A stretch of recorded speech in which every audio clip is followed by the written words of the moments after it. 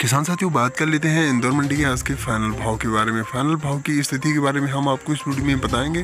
Final भाव का जो माहौल है इंदौर मंडी का कैसा बनता हुआ नज़र आ रहा है? क्योंकि किसान साथियों फाइनल भाव की स्थिति जान लेते हैं। वीडियो को शुरू करने से पहले जल्द से जल्द चैनल को सब्सक्राइब करें बेल आइकन को प्रेस कर दें, ताकि आगे आने वाले समय में हम जो भी वीडियो अपलोड करेंगे, उसका नोटिफिकेशन बहुत ही जल्द आपके पास पहुँच जाएगा। किसान साथियों ऑल ओवर मंडी के अनुसार अगर बात करें तो सुपर प्याज किसान साथियों और आवक की अगर बात करें तो अच्छी खासी आवक देखने को मिली हुई है ऑल ओवर मंडी में। वहीं पर अगर नीलामी रिपोर्ट की बात करें तो सुपर प्याज आठ सौ रुपये से लेकर एक हज़ार बारह सौ की रेंज में बिकता हुआ नज़र आ रहा है किसान साथियों और मीडियम प्याज वही सात सौ, आठ सौ की रेंज में बिकता हुआ नज़र आ रहा है। छोटे छोटे मिक्स प्याज की अगर बात करें तो ऑल ओवर मंडी में तीन सौ रुपये से लेकर छः सौ, सात सौ बिक रहा है। स्थिति काफ़ी हद तक डाउन होती हुई नज़र आ रही है किसान साथियों काफ़ी लंबे समय से जो प्याज का भाव है किसान साथियों एक समान मतलब रुका सा नज़र आ रहा है इस समय प्याज के भाव को लेकर अगर बात करें किसान साथियों